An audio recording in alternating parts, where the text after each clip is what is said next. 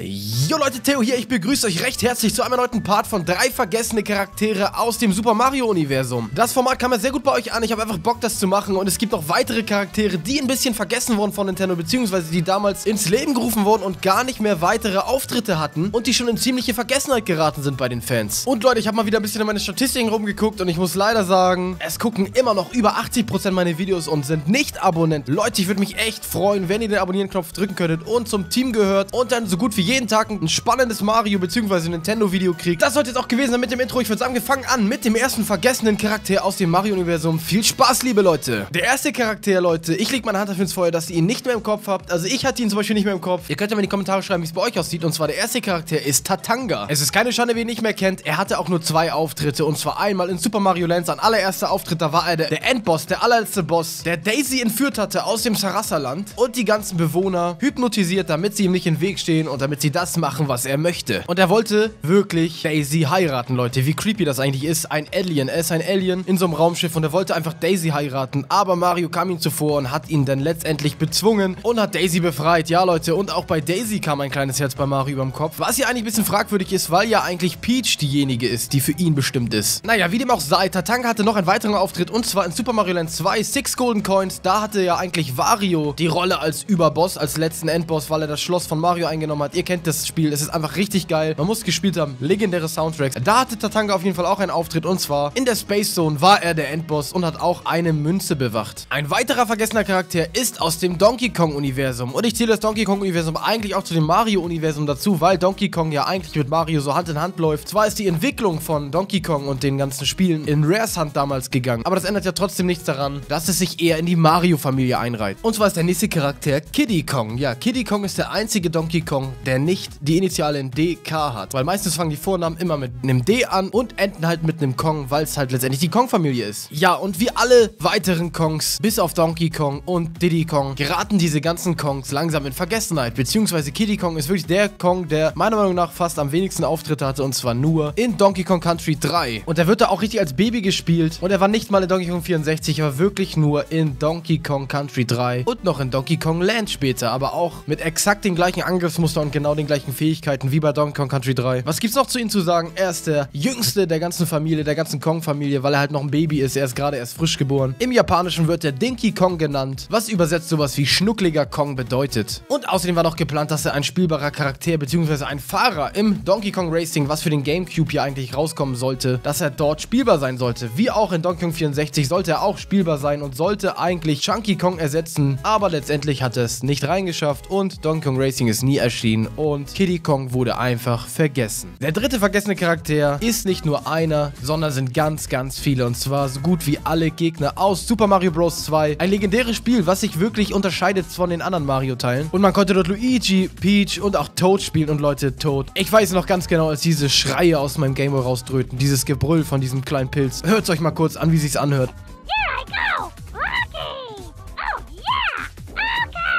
Also da muss man wirklich sagen, was haben die sich dabei gedacht? Wer, wer hat diese Soundfiles da eingebaut? Darum geht es aber nicht. Es geht um die Gegner aus Super Mario Bros. 2 und diese Gegner, die dort erschienen sind, ganz viele davon sind nur in Super Mario Bros. 2 aufgetaucht. Warum auch immer. Die Shy Guys hatten zwar ihren ersten Auftritt dort und wurden natürlich ein fester Bestandteil des Gegnerarsenals aus Mario, aber dennoch Gegner wie der Hoopster oder der Trouter, der aussieht wie so ein komischer, dünner Cheap Cheap, wie so eine Flunder oder der Panzer, was irgendwie aussieht wie so eine kleine Blume, die hatten alle nur ihren Auftritt in Super Mario Bros. 2, sowie auch der Ostro. Ja, Leute, der Ostro ist so ein komischer Strauß, auf dem ein Shy Guy sitzt und der hatte auch nur den Auftritt bis jetzt in Super Mario Bros. 2. Wie gesagt, Super Mario Bros. 2 ist ein Mario, was sich wirklich unterscheidet von den anderen. Eventuell mache ich demnächst mal ein extra Video darüber. Wie gesagt, ich würde mich freuen, wenn du den Kanal abonnieren könntest, wenn du noch kein Abonnent bist. Das sollte jetzt gewesen sein mit der Liste. Damit bin ich jetzt raus. Ich wünsche euch einen wunderschönen Tag, Leute. Haut rein. Ciao und tschüss. Euer Theodore.